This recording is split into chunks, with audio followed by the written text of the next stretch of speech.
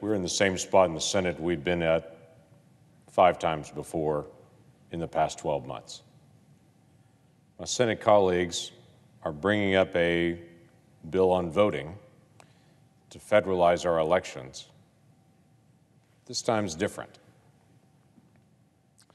This time, their demands have changed.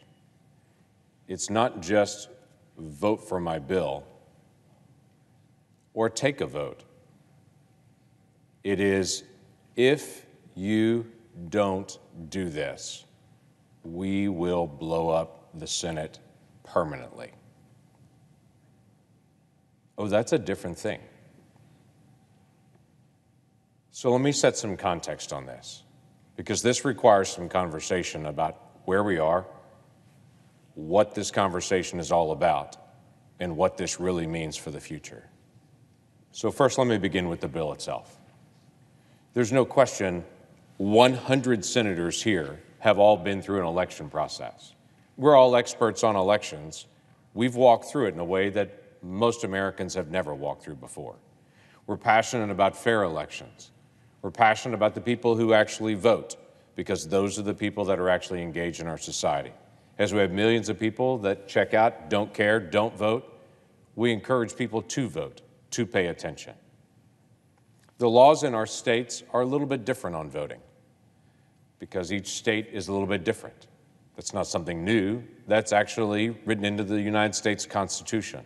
It's been that way since 1789. They've always been a little bit different.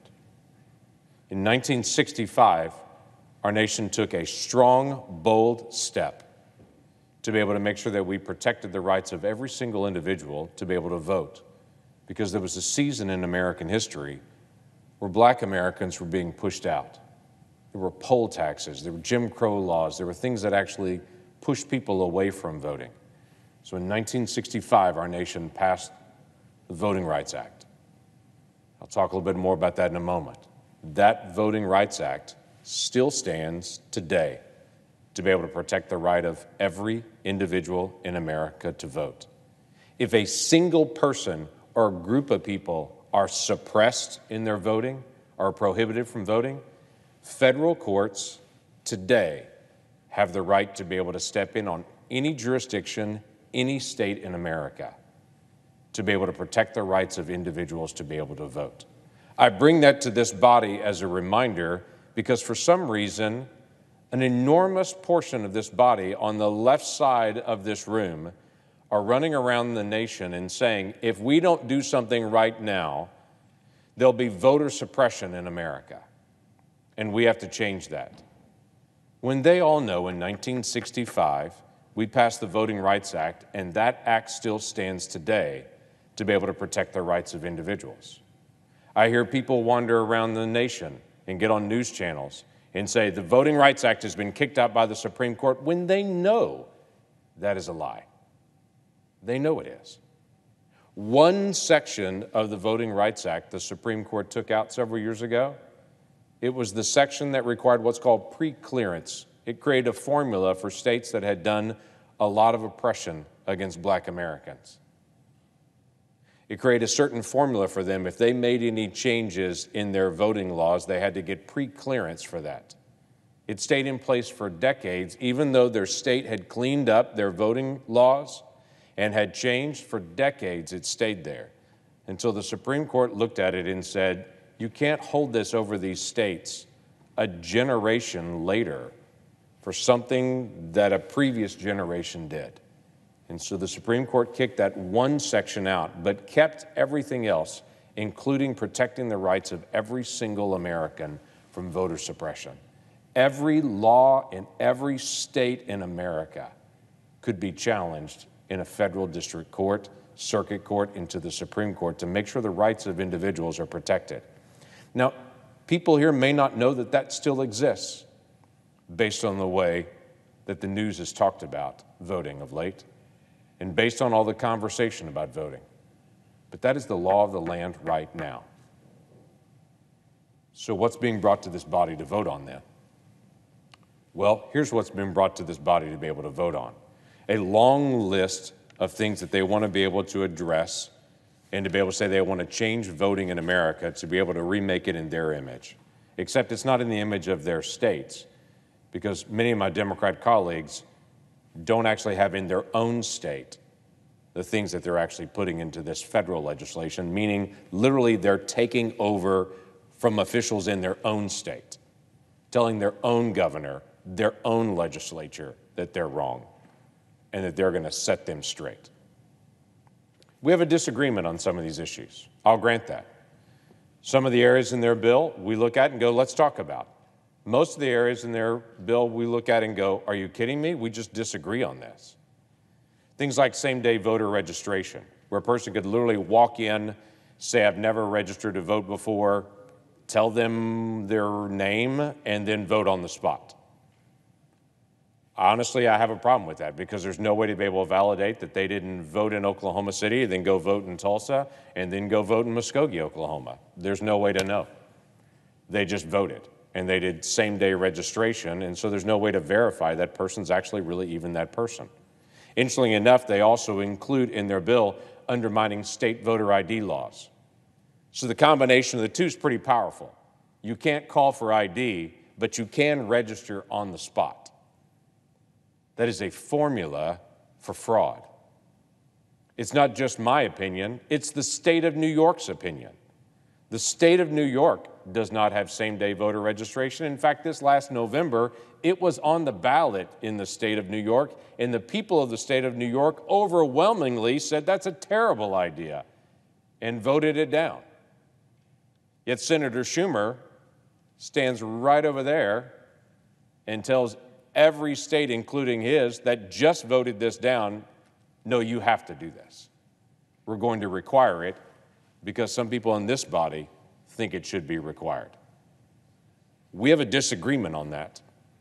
That's a real disagreement we should be able to debate and talk about. But instead, my Democrat colleagues are saying if you disagree with me on this, I will blow up the rules of the Senate and will get what I want no matter what.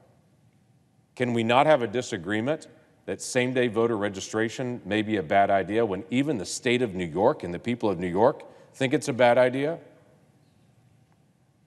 They have a mandate for using ballot drop boxes. Now, I don't have a problem with ballot drop boxes, but their ballot drop box issue is you can't provide security. You can't, if you have any kind of security setting for it or any kind of chain of custody requirement, then that's going to be oppressive and suppressive. You know, I think it's a good idea if you're dealing with a ballot that you actually know where it went and if anyone changed it. If, a, if people dropped off multiple ballots when it's only legal to be able to drop off one, I think that may be important to be able to know if you're going to be able to verify an election. We have a disagreement on that. We have a disagreement on the issue of felons voting. Now, each state makes that decision whether they're going to allow felons to vote, but in this piece of legislation Democrats are bringing, they're saying no, felons have to be given the right to vote when they get out of prison. Now, I understand we may disagree on that, but I want you to understand what they're saying.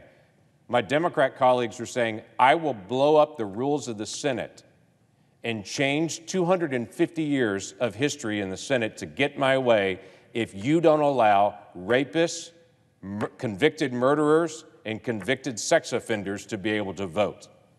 They are so determined that sex offenders get the right to vote, they're willing to blow up the rules of the Senate to get it. Can we not have a disagreement on if we're going to force states to mandate that convicted murderers, sex offenders, and rapists get to vote again? In this piece of legislation, they provide government funding, taxpayer funding, for members of the House of Representatives, just down the hall over there. Here's the way they set it up. If you're running for the House of Representatives and you raise small dollar donations, then taxpayers will fund your campaign on a six to one match. Oh, it gets even better because you as a candidate could actually take a salary from that as well and actually be paid by the taxpayer to be able to run for office if you're running in the House of Representatives. Can we not have a disagreement on that?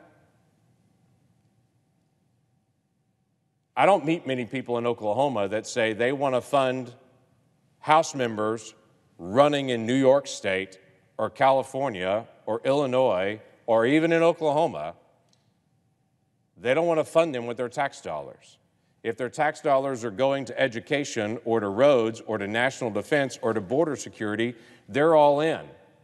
But if they're funding a political campaign with their tax dollars, I just don't meet very many people that are very excited about that. But my Democrat colleagues are saying if you don't support that, I will blow up the Senate and I will destroy 250 years of history in the functioning of the Senate to get my way because to them, having federal funding for elections is so important, they're willing to blow the Senate tradition up so they can get their way. There's a general counsel that works for the Federal Election Commission. You've never met him. You don't know his name. He's an attorney that works for the Federal Election Commission. Their bill gives that attorney a tremendous amount of power to oversee elections in America. Do you know who he is? I don't either. But if this bill passes, it's a pretty powerful individual.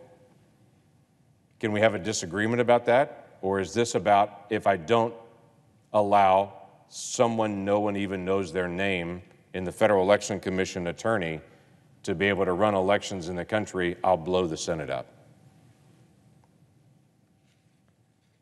There's a section of it in this bill that talks about pre-clearance. We actually don't know how many states would fall into pre-clearance on this. Many of my Democrat colleagues say, well, it's not very many. You have to have some sort of violation in the past to be able to get it. But actually, if you read the fine print in the bill, it says if there's been a consent or an out of court settlement on things related to an election anytime in the last 25 years, you would suddenly now be in pre clearance. So, literally 20 years ago, if your state made some agreement on elections if there was some settlement that was done with DOJ during that time period, didn't even go to court, and you just settled it to resolve it and said, yep, that was a mistake, that was done, now that's going to come back to haunt a future generation. And states will get drawn into pre clearance, which let me just describe what that means. Pre clearance means your state legislature can no longer pass legislation on elections until you contact the Attorney General of the United States and ask permission first. So now your state legislature works for the Attorney General of the United States, whoever that person may be in the future.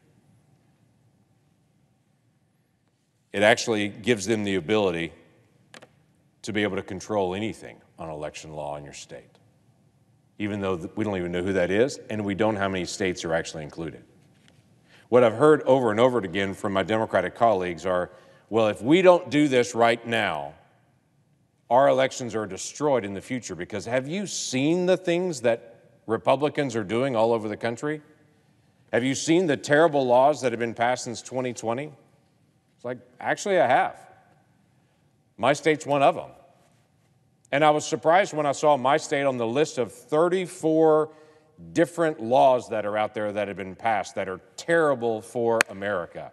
So we've got to be able to federalize all elections. I was surprised to see my state on the list. And so when I looked on the list to see what was the terrible thing that passed in my state, here's what I discovered. Our bill, our state passed House Bill 2663. House Bill 2663 did a couple of things. It added an extra day of early voting for the general elections, added an extra day of in person early voting, and it said if you request an absentee ballot, you have to do that 15 days prior to the election. Do you know why we did that? Because the United States Postal Service contacted every state and asked them to do that. Because the Postal Service said we can no longer guarantee we can get something mailed to a person and give them time to get it actually mailed back in time for the election. So, to make sure people's votes actually count, we did what the United States Postal Service actually recommended to us. We moved our request for an absentee ballot to 15 days before the election to make sure every vote would count. You want to know something fun? So did the state of New York. They made the exact same change. So apparently, the state of New York is also into voter suppression, the same as the state of Oklahoma is. But you know what's really happening? My Democratic colleagues are running around the nation, getting on the news and saying there's 34 new laws passed by Republicans. They're destroying the right to vote. And apparently, no one in the media is saying, list one.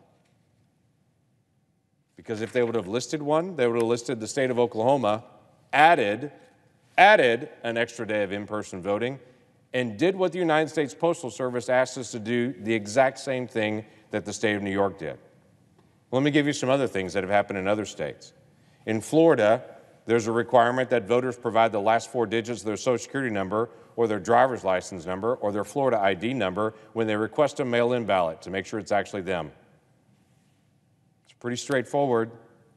That doesn't sound like voter suppression.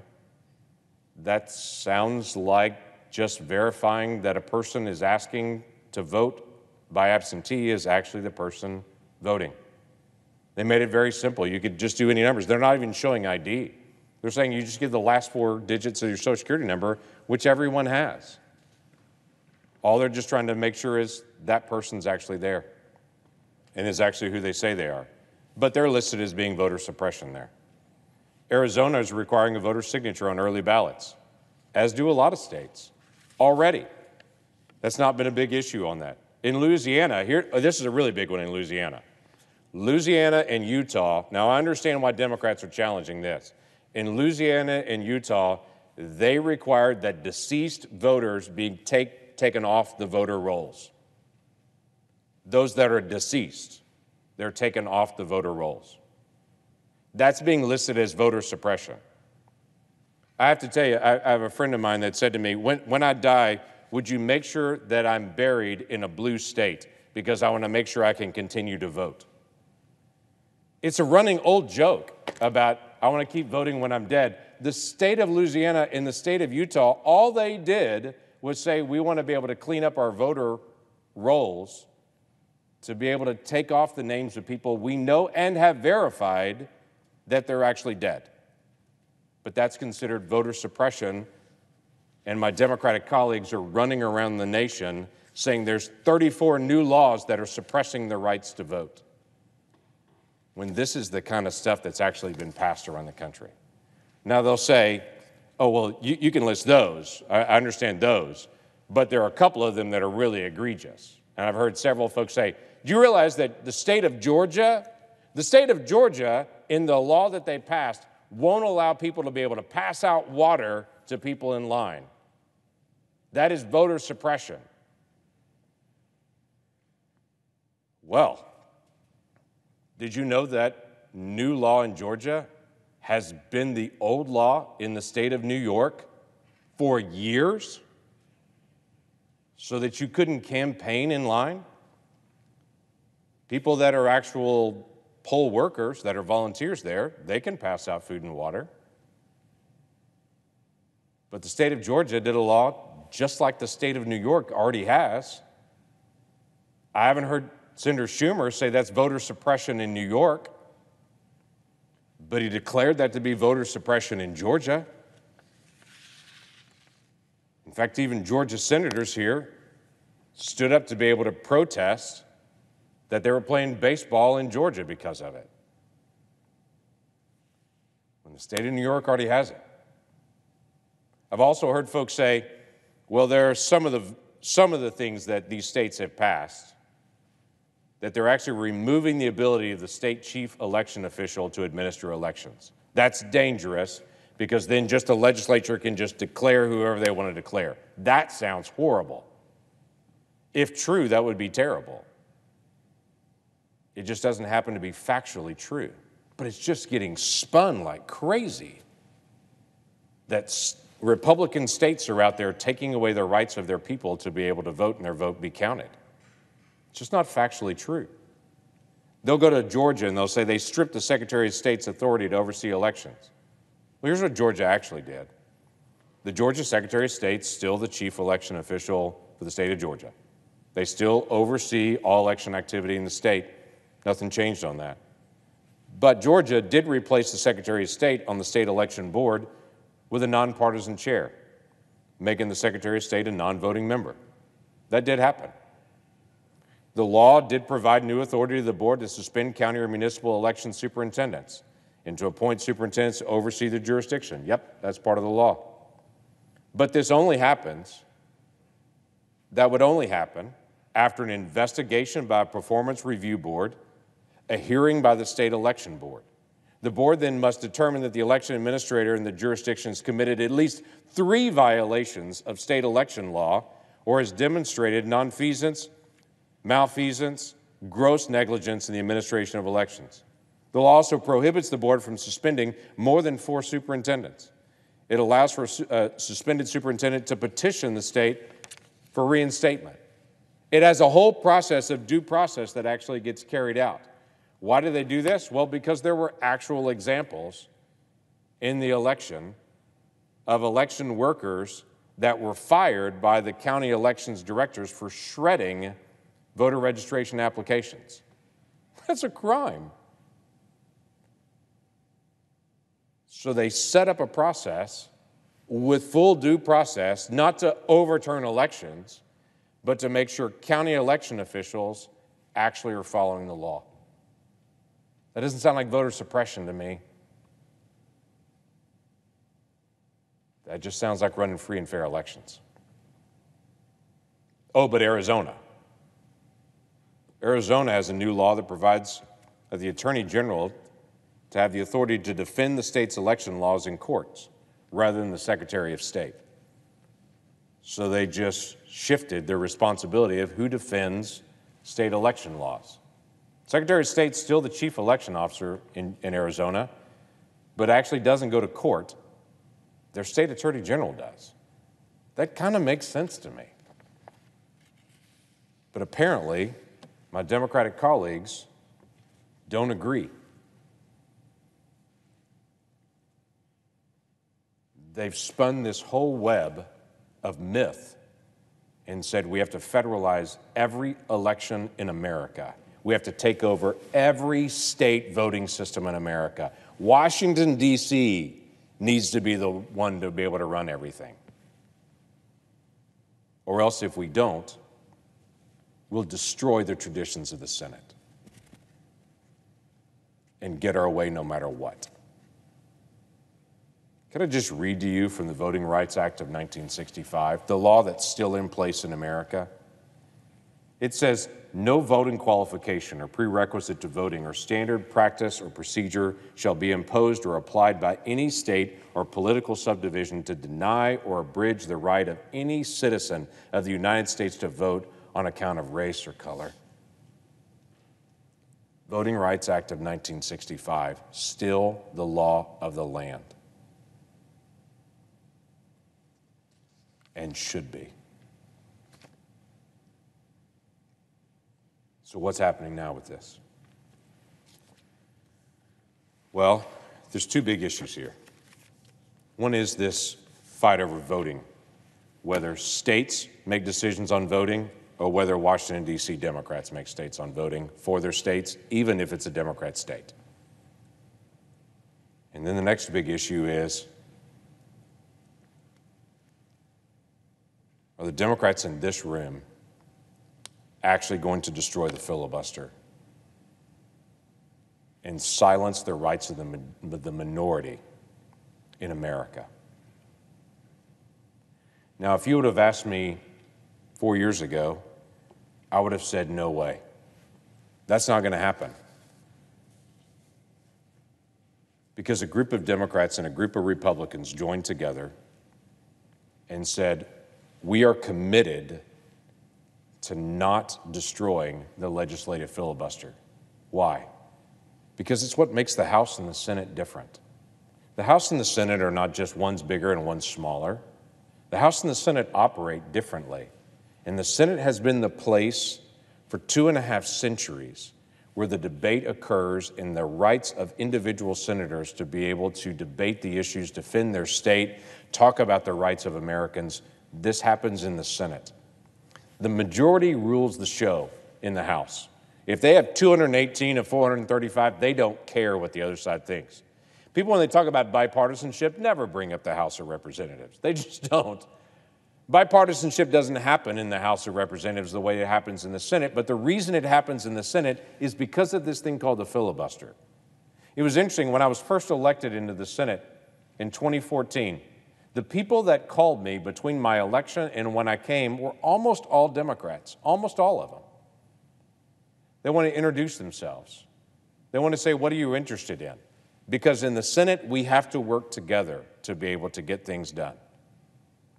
And so I had all these Democrats that reached out to me to say, let's start trying to find areas of common ground. We're going to disagree on lots of things, but let's find the things we're going to agree on. Because we have to come to consensus because we're the United States Senate. That's commonly understood by senators, which is why in 2017, in the middle of the year, a group of Republicans and senators wrote a letter, this letter, to Mitch McConnell and Chuck Schumer. In that letter, I'm going to read it right here from this paragraph. It says, We are mindful of the unique role the Senate plays in the legislative process, and we are steadfastly committed to ensuring that this great American institution continues to serve as the world's greatest deliberative body. Therefore, here's their request Therefore, we're asking you to join us in opposing any effort to curtail the existing rights and prerogatives of senators to engage in full, robust, and extended debate as we consider legislation before this body in the future. This group of senators in 2017 wrote to Mitch McConnell and Chuck Schumer and said, Do not allow any changes. We are fully committed to making no changes in the filibuster. Don't allow it to happen for legislation. Don't allow it. Here were those that signed this document and said, This is what we believe. Kamala Harris, now Vice President of the United States. Chris Coons, who led the letter among all Democrats. Patrick Leahy, who's the person who's held this institution together. Dianne Feinstein, Amy Klobuchar, Kirsten Gillibrand, Cory Booker, Michael Bennet, Joe Manchin, Angus King, Mark Warner, Bob Casey, Martin Heinrich, Jeanne Shaheen, Sherrod Brown, Brian Schatz, Maria Cantwell, Mazie Hirono, Jon Tester, Tom Carper, Maggie Hassan, Tammy Duckworth, Tim Kaine, Jack Reed, Ed Markey, Debbie Stabenow, Sheldon Whitehouse, Bob Menendez, all said, don't change the legislative filibuster. In fact, they asked me, along with everyone else, to join them in opposing any efforts to make changes to the filibuster. It didn't just stop there. There were lots of other conversations that happened during that time period. There were lots of interviews and dialogue about it. Let me just read some of the comments that were made during that time period. George Stephanopoulos on ABC's program asked of Dick Durbin, the number two leader for Democrats, asked Dick Durbin, What do you think about doing away with the filibuster? Dick Durbin replied this in 2018. Well, I can tell you that would be the end of the Senate as it was originally devised and created, going back to our founding fathers. We have to acknowledge our respect for the minority, and that's what the Senate tries to do in its composition and in its procedure. That's Dick Durbin in 2018. Jon Tester was asked in 2019 about the legislative filibuster, and he said, I don't want to see the Senate become the House. He then said, If you're asking me about the filibuster changes, I'm a no. That would be a mistake. Senator Angus King made this comment in 2020. He said, I know it can be frustrating, but I think legislation is better when it has some bipartisan support. Senator Dianne Feinstein in 2020 said filibuster is part of the Senate tradition, which creates a sobering effect on the body, which I think is healthy. One more comment from Angus King. Angus King was asked about it on CNN about the filibuster, and he replied back he's 100% 100% opposed to killing the filibuster. 100%. Senator Cory Booker responded about the filibuster. He said, My colleagues and I, and everybody I've talked to, believe the legislative filibuster should stay there, and I will personally resist efforts to get rid of it. Senator Chris Coons, when asked about this in 2018, he replied, I am committed to never voting to change the legislative filibuster. Never. Senator Jacky Rosen in 2019 was asked about this, and she replied, I think we should keep the legislative filibuster. It's one of the few things that we have left in order to let all the voices be heard here in the Senate. She also said, we have to look not at just when you're in the majority, but what does it do when you're in the minority? You have to be mindful of that. Jeanne Shaheen was asked on CNN about the legislative filibuster in 2021. And she answered just simply no. I would not support eliminating the 60 vote threshold, would not do it. Senator Jack Reed was asked in 2017, during the same time period this letter came out, which he was a signatory for. He said the, the filibuster is not in the Constitution or in the original Senate rules, but we have a bicameral system for a reason, and this legislative tool serves as a critical it serves a critical purpose in ensuring the functioning of our democratic republic. Yes, it sometimes slows the process down, and some have abused or subverted it, but it remains an important part in our system of checks and balances. I agree. I agree with that, Jack Reed. Senator Bernie Sanders, even, was asked about the filibuster in 2019, and he just replied, No, I'm not crazy about getting rid of the filibuster. Senator Mazie Hirono from Hawaii said, I'm not particularly in favor of getting rid of the filibuster because that means majority rule, and that's what happens in the House. Senator Bob Casey was asked in 2019 about the filibuster, and he just replied, I'm a yes on keeping the filibuster.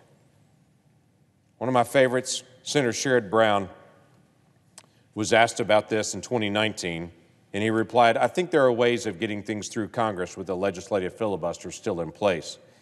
It just takes a chief executive that knows what she or he is doing.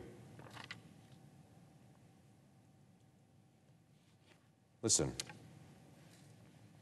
this is not some trivial exercise. This is 250 years of history my Democratic colleagues are planning to flush down the toilet because they don't get their way. On a bill we rightfully have very strong philosophical disagreements on. Hey, I don't agree on giving rapists and sex offenders who are convicted felons voting rights when they get out of prison. I'm not alone in that. I don't agree in federal tax dollars being used to be able to pay for political campaigns. I'm not alone in that. That's not that crazy. I don't agree that my state should have to go play Mother May I with some future attorney general because they want to add another day of voting. I'm not alone in that. But to say, if you don't do this now, I'll destroy the Senate, is a toxic shift for our republic and is a violation of what you have said before in public, in fact, written to the leadership of the Senate and said, please don't do this and we will not do this. And now, years later, go, it's not convenient. That was when we were in the minority, we had one opinion. Now we have different core beliefs because we're in the majority. Interestingly enough, Joe Biden today stood in Georgia and made this statement. He said, Today, I'm making it clear to protect our democracy. I support changing the Senate rules whichever way they need to be changed to prevent a minority of senators from blocking action on voting rights. When it comes to project, protecting majority rule in America, the majority should rule in the United States Senate. Well, that's fascinating. Now that he's president of the United States, it is my way or I'll destroy the whole place. When he was Senator Joe Biden, he had a different opinion. Senator Joe Biden wasn't about, I'm the president, so I get what I want. Senator Joe Biden said this statement Folks who want to see the change and eliminate procedural mechanisms designed for the express purposes of guaranteeing individual rights and they also have consequences. They undermine the protections of a minority point of view in the heat of majority excess. But now he says, no, I'm in the majority. I should get my way. Senator Joe Biden said, Well, I've been here 32 years, most of the time in the majority, he said. Whenever you're in the majority, it's frustrating to see the other side block a bill or a nominee you support. I've walked in your shoes and I get it. Getting rid of the filibuster has long term consequences. If there's one thing I've learned in my years here, once you change the rules and surrender the Senate's institutional power, you never get it back. Senator Joe Biden said, simply put, the nuclear option would transform the Senate from the so called cooling saucer our founding fathers talked about to cool the passions of the day to a pure majoritarian body like a parliament. We've heard a lot in recent weeks about the rights of the majority and obstructionism, but the Senate's not meant to be a place of pure majoritarianism. Is majority rule what you really want? It's what he said as a senator, but as president, his demand was majority rule, or we'll break every rule in the Senate to get what we want. Senator Schumer, in his public statements, has been very clear it would be doomsday for democracy, he said, if you change the filibuster.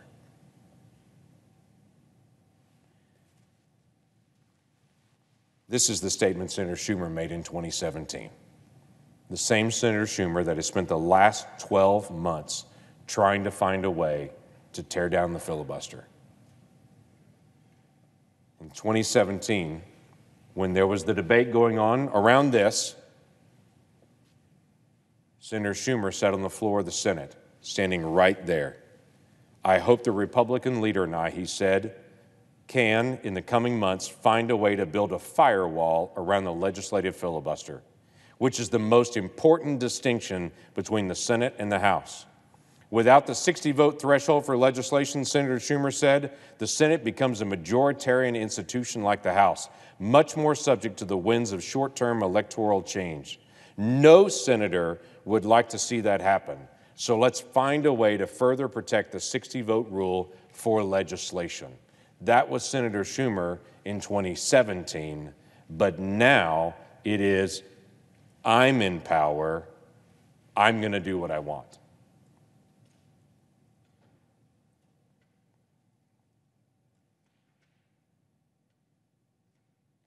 This is not a flippant issue. And as I've spoken to some of my Democratic colleagues, they seem to believe we'll just take this vote and no one's going to care. In fact, some of my Democrat colleagues are saying, we know we're going to lose. Senator Manchin and Senator Sinema have already made public comments. They're not going to go with this, so we're going to take this, make a statement. Our progressive base wants us to be able to do this. It has no consequences. It's not going to pass anyway, so we'll just do it. Except they're forgetting that five years from now, 10 years from now, there'll be another time just like this, and maybe Democrats will be in a slightly larger majority. And maybe Senator Sinema and Senator Manchin won't be here at that moment. And the majority leader, Democrat senator at that point, will step forward and say, You voted on this in 2022. It's time for us to vote on it now. And Democratic activists will rush at you and will say, Don't you dare change what you did. Tear the place down.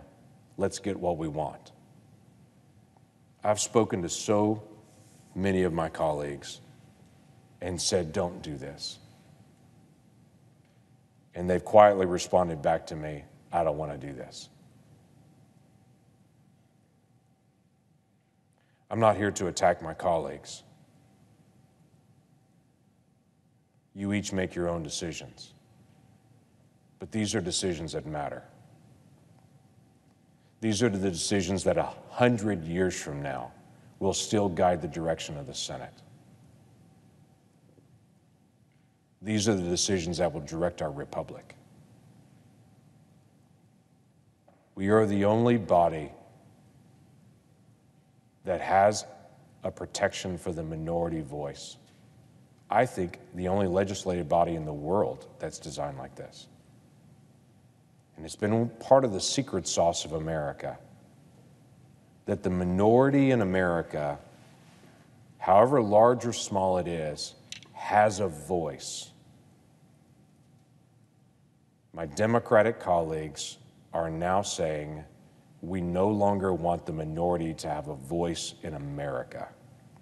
If you're in the minority opinion, you don't count. Sit down, shut up. We're in the majority. That has never been the American way, not in 250 years. This has been the place where we've argued, debated, and where, yes, I've talked to House members who've said good bills went to die. But the Senate has been the spot where all Americans get to speak. And my Democratic colleagues are seriously considering this week saying no more. Because we want to pass a voting bill that gives federal dollars to House candidates and gives felons the right to vote and takes away voter ID.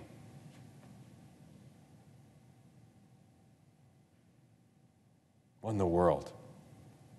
What has this body become?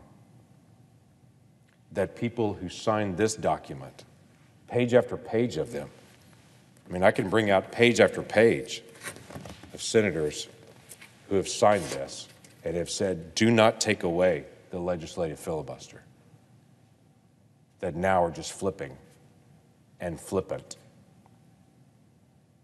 and saying it won't matter. Yeah, it does. A hundred years from now, this week will still matter. I encourage my Democratic colleagues to think carefully on this one because this one counts. With that, I yield the floor.